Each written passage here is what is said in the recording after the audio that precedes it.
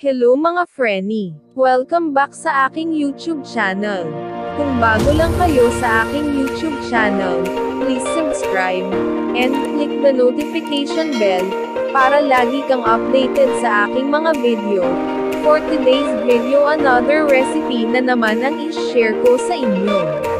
Ito yung tinolang manok. So without further ado, intro, pasok!